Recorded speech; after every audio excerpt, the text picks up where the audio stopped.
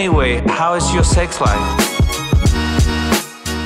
Всем привет! Вы слушаете подкаст с интригующим названием «Ребята, мы потрахались». В студии Сашка. Всем привет и Дашка. Здравствуйте, дорогие друзья.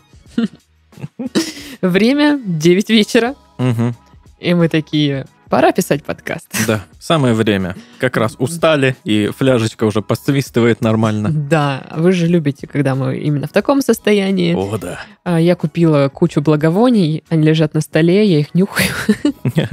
Пытаюсь, ну, типа, как-то нанюхаться, что ли, не понимаю. Поймать какой-то дзен. Вот. Но лучшая терапия, конечно же, это читать письма наших слушателей. Сегодня какое-то у нас на повестке огромное длинное письмо. Подозреваю, что там куча всяких странных историй будет. И Супер. какое-то маленькое письмо. Вот так я вам сделала анонс. Если вы тоже хотите прислать свои письма, почта есть в описании выпуска. Не стесняйтесь. Итак.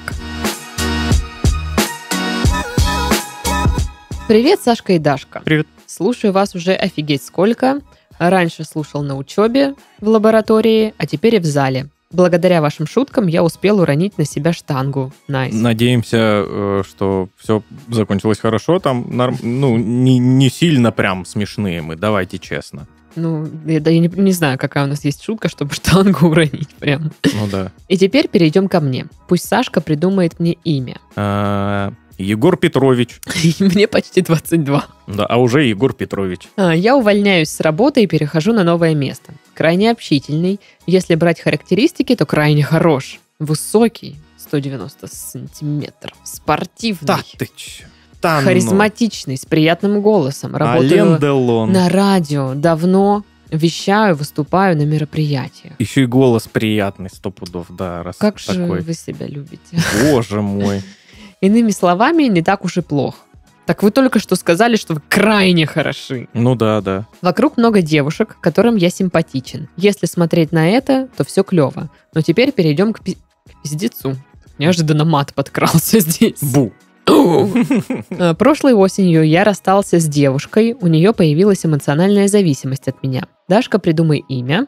Клара. С нетерпением ждала встречи нашей, но вся остальная жизнь у нее была тяжелой. Проблемы с семьей, работой, учебой. Многие друзья отвернулись от нее, и остался я. И тут я просто устаю решать ее проблемы и поддерживать. Ей просто не становится лучше. Проблем было много. Одна из них – отчисление из-за одного и того же препода во второй раз на втором курсе. Это был сильный удар для нее. Мы расстались, и я не сильно переживал.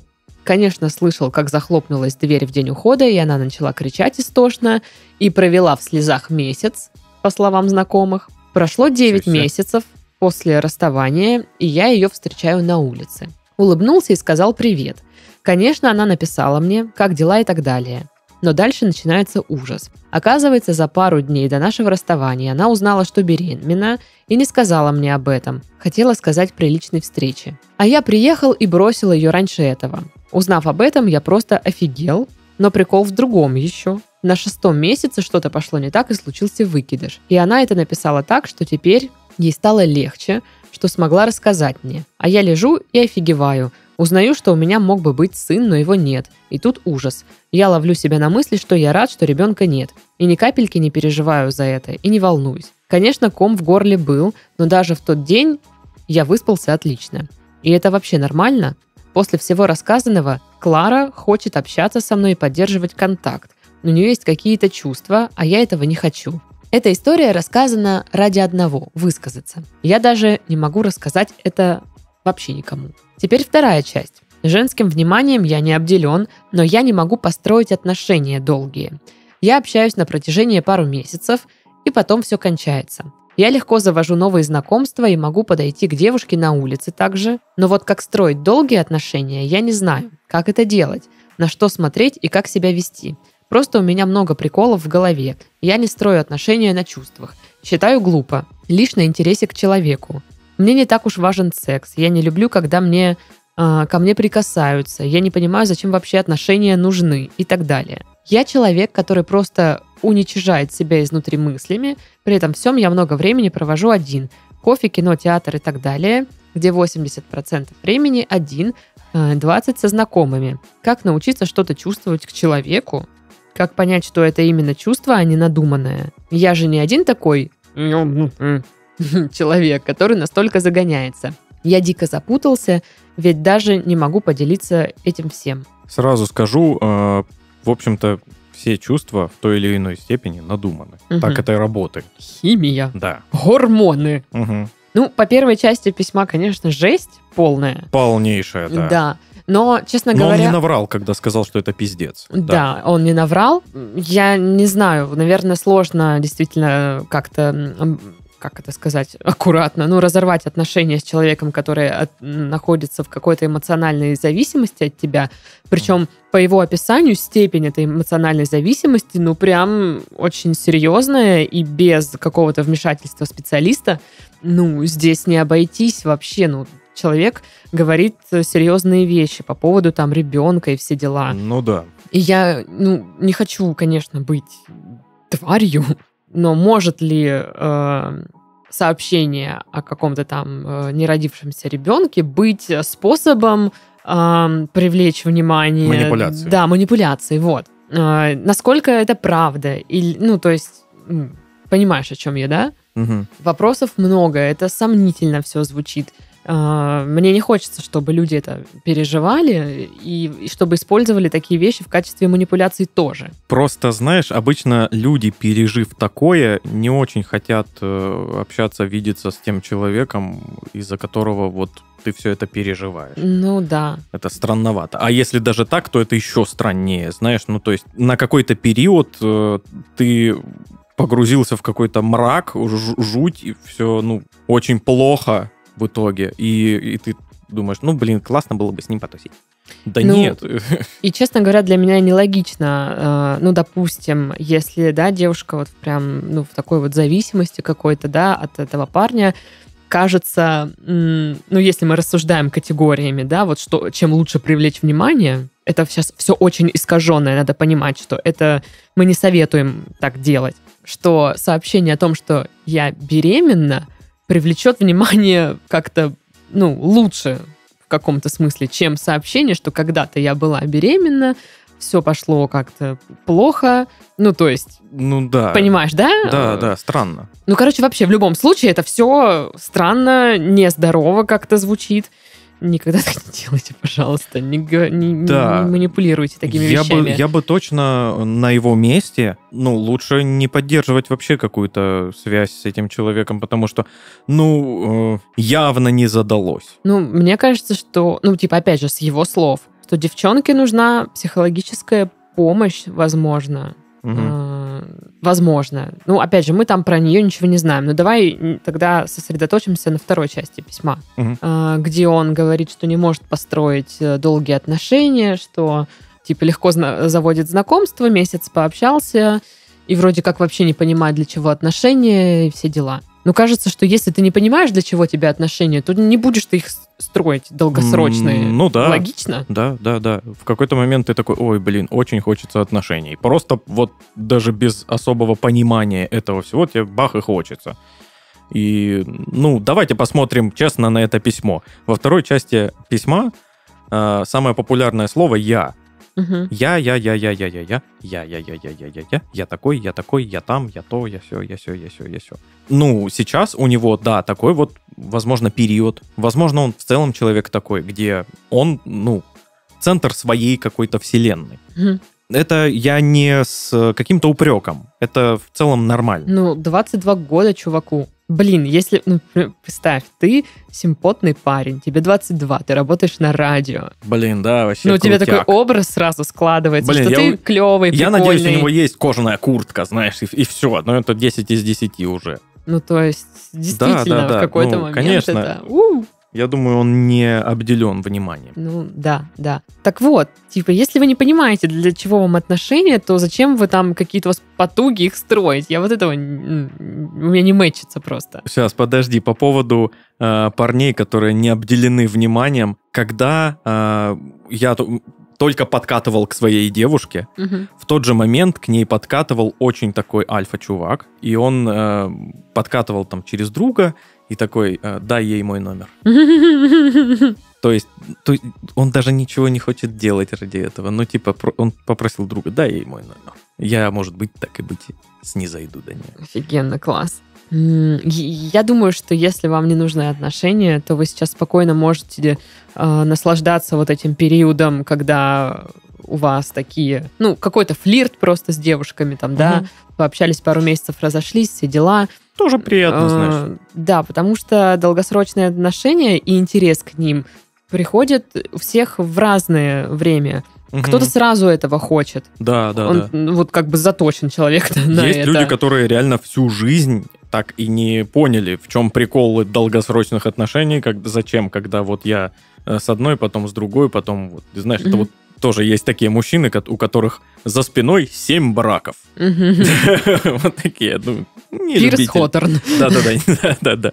Не любители долгосрочных отношений такие. Ну да. Ну и вот то, что он типа везде один, что-то там, вот он писал, когда я хожу куда-то, да, 80% времени я один, 20% со знакомыми. Как научиться что-то чувствовать к человеку, как понять, э, что это чувство, а не надуманное. Вот, ну я не знаю, честно, я не знаю, как э, различать надуманные чувства и ненадуманные, вообще есть ли такое. Но Ну да. если мы мыслим этой категории, я, наверное, надуманные чувства осознала спустя время. Ну, типа, спустя потом- время я потом- поняла, что это было надуманное чувство. Потом ты понимаешь уже, да, как, о, это мне тогда было просто скучно. Мгм. Или мне тогда просто хотелось вот чего-то, и вот оно было чего-то. Так, та- бо- больше никак это и не назовешь. Чего-то. Ну, вот да, спустя только время э, лично у меня вот так получалось. Но в моменте каждые какие-то э, чувства, каждые вот эти влюбленности, ты всегда думаешь, что это, ну вот все, тот самый человек. Елки-палки, наконец-таки. Ну, а с другой стороны, ну ты же это испытываешь, ну ты же это чувствуешь. М, Ну, как да, бы, почему да, да, да. это должно считаться надуманным или там еще что-то? Вот, поэтому мне проще считать, что все чувства надуманы, поэтому мы их и можем оценить только после. А я, наверное, буду думать, сейчас я вот придумаю, как я буду думать, а, что все чувства настоящие, ну, типа, они все искренние очень. А, и меняется просто, Просто- реакция со временем. Нет, может быть, э, ну, кстати, реакция на них со временем, да, меняется. И, может быть, как это, срок годности, условно говоря, их меняется, скажем так. Ну, то есть, когда-то мне там кто-то нравился, мне казалось, что это там такая любовь, что мне так нравится, и мне действительно тогда нравился этот человек. Просто, ну, очень сильно нравился. Просто потом я поняла, что ну, ну прошло все, прошла Мгм. эта симпатия, там, я не знаю, узнала его чуть лучше, и такая, а, ой, извините, обозналась. Ну, вот такое. Я думаю, что ему нужно сейчас, ну, не стоит общаться с той девушкой, Мгм. не стоит как-то триггерить это все и для себя, и для нее, ну, вы очень плохо начали. Лучше разойтись и не вспоминать друг Для друга. меня это вообще такое чувство, что это просто два разных письма. Да, как будто два разных письма, да. Вот. И я Но про по стилистике это одно письмо. Я про первое вообще ничего не буду как бы комментировать, потому что, ну, что там скажешь, ну, типа, ситуация как бы отстойная. Да. Ну вот, а про вопросы, что там я человек, который уничижает себя мыслями изнутри и все дела. А вы-то сами не думали к психологу обратиться? Ну, типа, не в смысле, что, типа, вы там какой-то не такой. Но если вы пишете, э, я уничижаю себя там мыслями изнутри, как мне понять там, какие чувства надуманные, какие не надуманные, э, ну, что вы запутались. Самому распутывать, очевидно, не получается. Значит, можно свою кожаную куртку крутого парня немножечко повесить на Мгм. крючок, надеть, не знаю, просто рубашечку, футболочку и сходить к специалисту и рассказать ему все, что у вас происходит, потому что, ну, откровенно говоря, ну, это... нет. Рассказать есть что. Да, Да. есть что рассказать, есть чем поделиться, есть в чем поковыряться. Мне кажется, что у вас много всяких чувств накопилось и мыслей, и, возможно, они на вас давят как-то, вот вы говорите, уничижает себя изнутри, ну, потому что они, это все вас как-то разрывает, наверное. Вот у меня вот такое какое-то чувство складывается. Нужен человек, который, ну, не знаю, поможет, успокоит, где-то, не знаю, распределит эти мысли ваши, ну, скажем так, устаканит. Э, кто вообще, в принципе, выслушает, поймет, кому вы сможете вот это все рассказать и просто выдохнуть. Да, да. Э, Потому что письмо такое, вот это происходит, вот это происходит, а тут я еще запутался, а вот это отношение, а тут я один, а тут что-то это. Ну, то есть, Есть какой-то, да, непроработанный комок мыслей, э, ощущений. да, тот случай, когда я не буду говорить, я бы на месте человека там составила список, там, ну, как я обычно, да, делаю. Мгм. Но здесь я, наверное, только хочу сказать, что, ну, к психологу какому-то, специалисту обратиться, Да. ну, чтобы он помог разобраться. Не потому, что с вами что-то не так. Да, да. Э, Прекратите, пожалуйста. Вот э, у многих реально есть до сих пор такая, даже вот, вот у нашего поколения, у нас, у миллениалов даже есть это еще, Мгм. э, что, ну, психологи это какие-то шарлатаны, и что туда ходить вообще?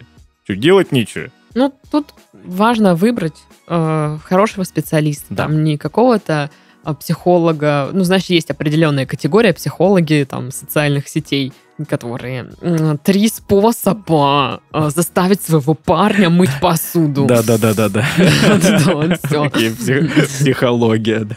Да, да.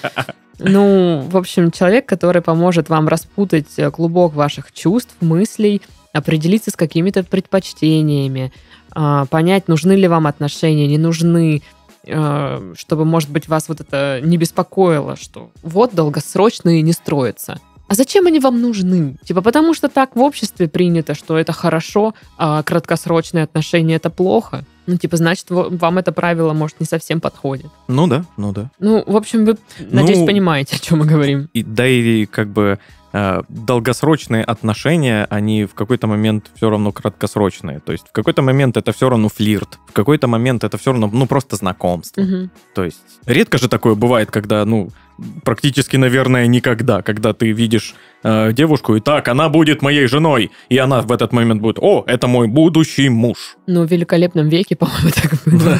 Да-да-да. Ну, я шучу. Ну, в общем. А, в четырех свадьбах так было.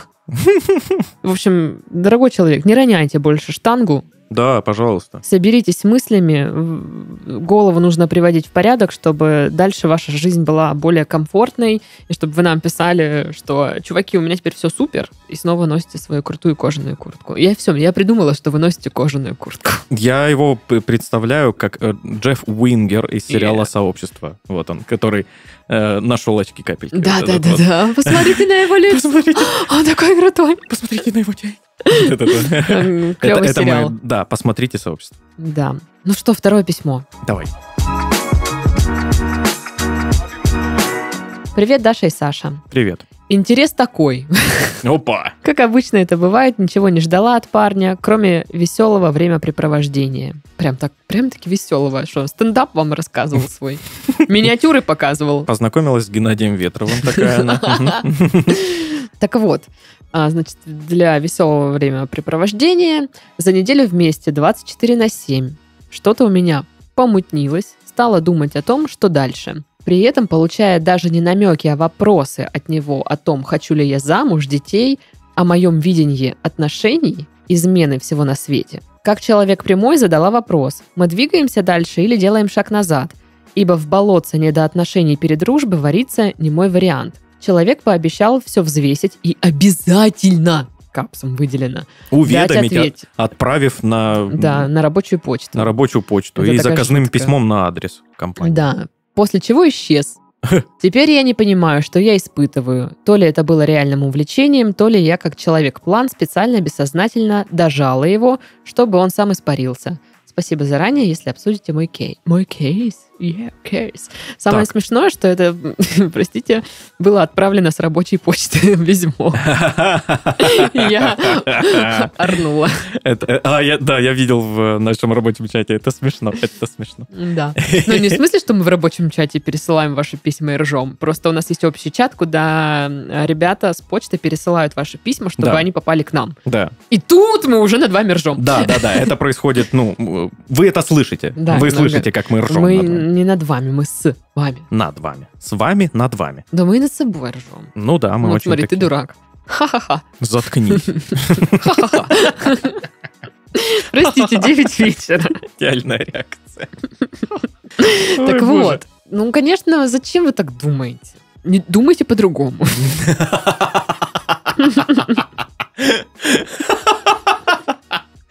Блин, это пока что лучший совет за 300 с черти чем там выпусков. Ой, пожалуйста, пусть он будет у нас в списке золотых советов.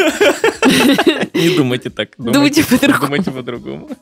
Так вот, э, мне кажется, все довольно очевидно, что он просто ну, ничего не планировал, ну, ничего не хотел. Вот Или, или даже не знал, что хотел. Да. Такое чаще даже встречается. Просто вот эти вот, для меня это вот, меня просто это даже вот немножко бесит, простите, вот эти тупые вопросы от одноразовых партнеров, условно говоря, да, ну, Мгм. когда вы там встретились, не знаю, вы поняли, что у вас э, дружба организмами и все такое, и вот начинается, а что ты думаешь по поводу отношений? А как ты относишься к браку? А, ну, типа, а ты такая классная, а что ты думаешь по- про отношения? И я сидела в эти моменты и думала, ты дебил?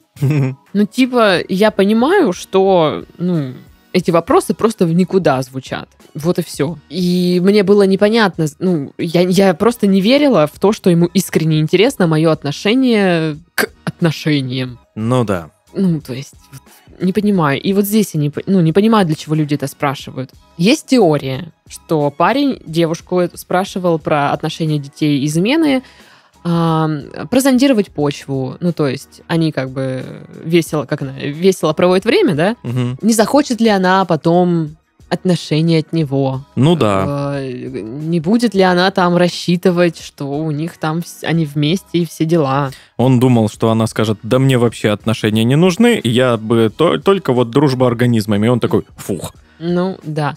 В общем, я думаю, что он ничего не хотел от вас другого, просто он, ну как, ну, назовем это, испугался, потому что, ну, для меня, я не знаю, если ты говоришь, я обязательно отвечу, и, ну, не отвечаешь, Мгм. ну, как бы, ну, что ты... Ну да, да, да, да, да. Испугался сказать, нет, не будет отношений. Это как на что? собеседовании, мы вам перезвоним. Ну, да, и, и не перезванивают. Отстой. Короче, подруга, нам не нужны такие отношения. Мгм. Мы достойны большего, Э, Да, подруга. я понимаю, что вот это 24 на 7 вместе, у вас там секс, легкая какая-то романтика, э, такой вот этот вайб немного, знаешь, когда вы никому, ну, никто ничего не должен, вы такие Лёгкость, свободные, да, да. легкость. И на этом фоне начинает развиваться чувство, что, ой, вам же вдвоем так классно, может быть, это оно? Да нет, это, наверное, не оно. Может быть, есть случаи, когда из этого действительно получаются Да, отношения. конечно, есть такое, да. Но мне кажется, ну, такое. Я, да- я даже встречал такие парочки, которые, знаешь, ну, уже дав- давным-давно вместе, но началось все с какого-то просто перепихона, с полуслучайного какого-то, типа, что-то это, Ну вот по, по моей э, дашкинской статистике, А, знаменитый да. Д- Д- Д- Дашкинский центр статистики. э, Дашкстат, Дашкстат. да. А, Мне кажется, что все-таки в большинстве случаев э, такие вот дружбы организмами ну, не заканчиваются отношениями. Да, в большинстве случаев такие дружбы организмами заканчиваются вот примерно вот так. Да когда пусть чел, катится. я тебе позвоню обязательно, и Мгм. ничего Пусть катится, подруга, пошел. Он нафиг. Потому что ты заслуживаешь уважения к себе Да, вообще-то. любви Да. настоящий, а не вот это вот, ну там посмотрим, что там кого там. Ну, вообще, реально, да, это все такое дурацкое. Мгм. Посмотрим, что это я Ну, я- обязательно Я сейчас скажу. подумаю, я тебе потом это отвечу, там это. А ты же даже номер мой не взял. Да, Умчал.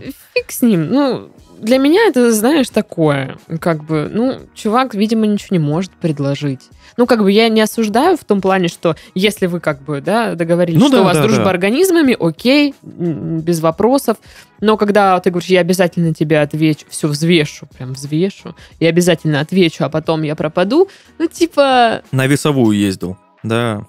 Заблудился. Для Бывает. меня это как бы как-то показывает, что ну, его отношение ко мне, и значит, ну, мне такое отношение неприятно, значит, пошел в жопу. Да. да. Вот. А вы встретите какого-нибудь нормального человека, который, не знаю, полюбит вас, и может у вас начнется все не с дружбы организмами, а с чего-то более там романтичного, Да, да. С того, с что общения, может, вы просто. вдруг такие, ну, представь, э, понравились, типа, давай на свидание и всякое такое, и как-то вот так закрутилось, что вы болтали просто всю ночь. О, И, блин, так здорово поболтали, круто, и уже на рассвете понимаете, что, блин, да мы что, всю ночь болтали сейчас с тобой? Офигеть. Ты сейчас такое говоришь, мне больно, потому что сколько сейчас? А, Полдесятого? Я так спать хочу. Я не хочу разговаривать. Сказала я в подкасте. Я хочу домой. Я просто жду, что моя голова опустится на подушку, я включу документалку и такая... На заставке. Да, да, да. Блин, у меня в, в в свое время был самый лучший способ уснуть. Это документальный фильм Нила Деграсса Тайсона про теорию струн. Там, ну, про космос и всякое такое, там про много чего. Э, про физику. Э, и я не досмотрел ни одной серии, и там не- несколько серий, э, ни одной серии до конца. Я очень хорошо знаю первые пять минут каждой серии, чуть ли не наизусть. Так вырубало под них просто. И он спокойно, и переведено, хорошо озвучено, спокойным голосом, так, космос. Это п п п п п Да-да-да, это я. Я представляю, что там космос. Па-па-па-па-па. Ты не смотрела, что ли? Там так и говорится. У меня, а, я люблю спать под телевизор, чтобы бубнил. Но у меня теперь по соседству живет бабуля, и она врубает телевизор очень громко, и так прикольно. Я лежу с открытым окошком и слышу там у нее телевизор. И я такая, Она, «М, о, она как удобно. Нила Деграсса Тайсона смотрит, очевидно. Космос, это бу-бу-бу-бу-бу. Это ты-ты-ты-ты-ты. Да, да, да, да, да. Ой, все, Блин, ребят, спать захотелось. Елки-палки. пока не уснули. Даша, Даша! а, а, шо? Это был подкаст, ребята, мы потрахали. С вами был Сашка. И Дашка. Пока. Пока.